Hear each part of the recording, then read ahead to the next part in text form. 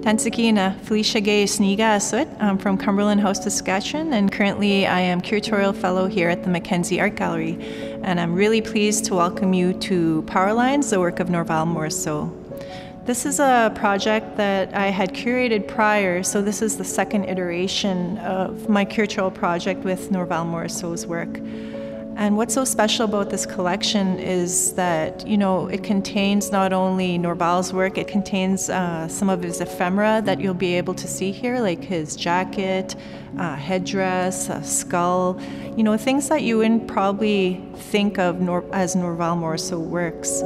Norval Morrisseau is uh, from northern Ontario, and I myself am Swampy Cree from northern Saskatchewan. And what I noticed right away when I was looking at the Westekirk art collection was the similarities within the iconography. And what I mean by iconography is we had similar story narratives, um, we had similar beings within our stories like the Thunderbird, Mistipisu, and mermaids. I knew right away that if I was to bring the work here to Saskatchewan, that Cree people here um, would readily recognize that iconography, and that really excited me.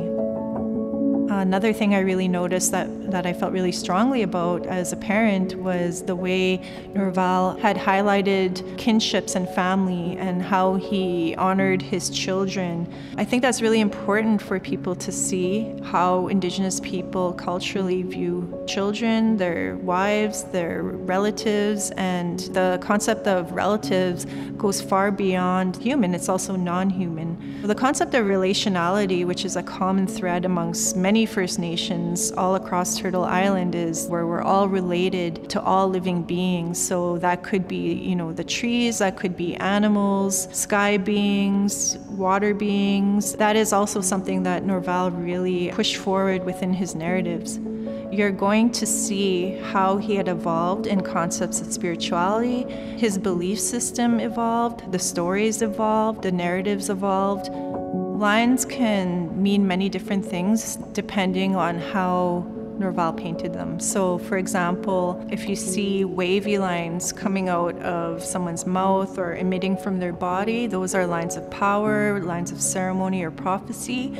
You'll often also see lines connecting different creatures, whether it's from man to bear, and those are all concepts of communication and relationality. You'll also see circles that are split, and those represent the duality of life. So, it could be, you know, young and old life and death, good and evil, and so on. So every little tidbit within the work has a meaning and it is a you know an indigenous methodology of the visual. I find that What's often shown about Norval is his really colorful works, and I really wanted to showcase some of Norval's earlier works because it really speaks to where he was coming from when he first began as an artist. A lot of people don't know that, you know, Norval was raised by his grandparents, his maternal grandparents, and this is also a tradition amongst Swampy Cree people is that the eldest grandchild is often taken care of by the maternal grandparents, and this was a way to transfer knowledge. And so Norval's uh, grandparents, his grandfather Potan, was actually a Mide uh, shaman. The Mide Society would often use what was called these birch bark scrolls, similar to something like this. Um, not exactly, but it kind of alludes to what a birch bark scroll would have looked like. And within these scrolls were these narratives that were drawn upon or etched in. You know, Norval was one of these types that loved art, he loved to draw he was drawing out the imagery that uh, was seen on these Medean scrolls. It was said that his community told him, You can't draw these images. They are not for public. You do not have the right to draw out these images. So Norval stopped. But then what occurred, as what happens in many northern communities during that time, and even now, is that there was uh, TB. TB was rampant. You know, there was a lot of overcrowding and the disease spread easy, especially in northern communities. Norval was actually very, very sick. He um, nearly died. He was dying, in fact. It was said his grandmother brought in a medicine woman to give him a new name, a naming ceremony. And what this naming ceremony would do, it would relay the power within the name onto Norval so that he could survive. Within the sky world, the most powerful being is the thunderbird. And the component of copper is also very much revered amongst many different nations as a healing metal. His new name became Copper Thunderbird. So that's why the exhibition is called Copper Thunderbird in Anishinaabe, and then Power Lines, the work of Norval Morrisseau.